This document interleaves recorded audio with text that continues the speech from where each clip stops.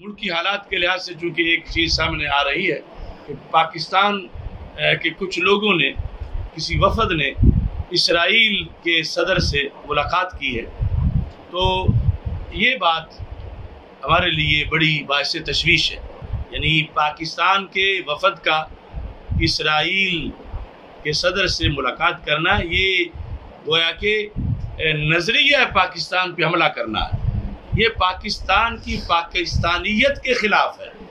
आइन पाकिस्तान के ख़िलाफ़ है। ये सरी नस कुरानी के ख़िलाफ़ है। यानी ला तत्ताखिजुल व नसारा अलिया ये पहले भी पता नहीं क्या क्या ये खुफिया करते रहते हैं। ये सब कुछ उससे दोस्ती के लिए किया जा रहा और उसे तस्लीम करने के लिए किया जा रहा। और इसमें सबसे पहले जो इरतकब किया, जुर्म का, वो कुछ अरब ममालिक हैं। कि जिन्होंने उसको तस्लीम कर लिया है और ऐसे ही तुर्की का सदर भी वहाँ गया रहा है और या उसकी मुलाकात हुई है, ये मीडिया पर आया था। तो ये छोटे जुर्म नहीं, बहुत बड़े जुर्म हैं। और पाकिस्तान के जो सदर हैं या पाकिस्तान के जो वज़ीर अजम या हुक्मरान को सोचना चाहिए कि पाकिस्तान नज़रियाती सल्तनत है और इसके अवाम नज़रियाती हैं। और अगर यहाँ किसी ने इसराइल से दोस्ती का सोचा तो पाकिस्तान के अवाम उसे इसराइली भेज देंगे। यानी उसे यहाँ नहीं रहने देंगे। क्योंकि पाकिस्तान के अंदर एक ख़ास किस्म का जज्बा है मजहबी कुत है। और यहाँ का फैसला जो उसके पीछे दुनिया अपने फैसले करती है। लिहाजा हम तहरीक लब्बैक या रसूल अल्लाह सल्लल्लाहु अलैहि वसल्लम और तहरीक सिरात मुस्तकीम की तरफ़ से अपनी पॉलिसी का ये ऐलान करते हैं कि हम भरपूर तरीके से ऐसी मुलाकातों की मजम्मत करते हैं और इसराइल से दोस्ती को मुस्तरद करते हैं। और हमारा ये अज़म है कि कभी भी हम ऐसी नौबत नहीं आने देंगे अल्लाह के फजल से कि पाकिस्तान इसराइल को तस्लीम कर ले और कुरान सुनत के ख़िलाफ़ यहाँ पर ये इतना बड़ा फैसला हो जाए इसे कभी भी हम बर्दाश्त नहीं करेंगे। और अल्लाह की तोफ़ीक से इसकी भरपूर मुजामत करेंगे।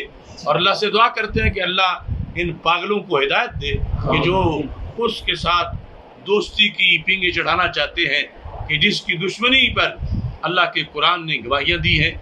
और यहाँ तक कि ये जो ए, मैं तो अपनी तहकीक़ात जो है बताता रहता हूँ कि ये लफ्ज़ इसराइल ये जो हमारी ज़ुबानों पर आज मजम्मत के लिए भी इसराइल का लफ्ज़ हमें बोलना पड़ता है। असल में इसका नाम है अलकैयानुसायून ये इसका नाम हमारे नज़दीक नहीं था मुसलमानों के नज़दीक। उन्होंने अपना ये लकब हमारे मीडिया से और फिर हम सबसे मनवाया हुआ है कि आज अलकैयानुसायून कह के हम रद्द करें तो किसी को पता ही नहीं चलेगा कि रद्द किसका कर रहे हैं। क्योंकि इसराइल का तो बड़ा मुकदस माना है अब्दुल्ला अल्लाह का बंदा। और उसे ए, ये लकब है। ये नबियों के अलकाब में से है। और इस बुनियाद पर यानी आज हम इतने अपाज हो गए हैं कि हमें रद्द करने के लिए भी फिर उन्हीं का लफज बोलना पड़ता है जो वो हमसे बुलवा के जश्न मनाना चाहते हैं कि देखो है हमारे दुश्मन मगर हमें इतनी इज़्ज़त से बुला रहे हैं कि हमें इसराइल कहते हैं कि अल्लाह का बंदा।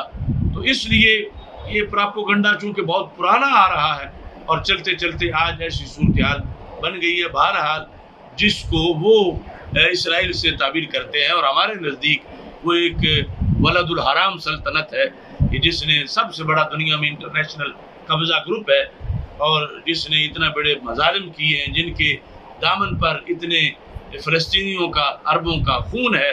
हमारे इन हुक्मरानों को कम अज़ कम वो खून देखना चाहिए। फ़लस्तियों की तीसरी नस्ल जो है वो अब खैमों में ज़िंदगी बसर कर रही है। तो ये इनको, उनकी फ़िक्र नहीं।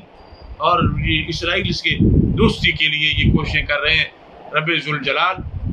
किसी भी ऐसे फैसले से जो आइन पाकिस्तान और नज़रिया पाकिस्तान के मुनाफी है, इस मुल्क के हुक्मरानों को बचाए, कि ऐसा कोई फैसला ना हो। और इस मुल्क का जो तशखस है, इस्लामी तौर पर वो बरकरार रहे।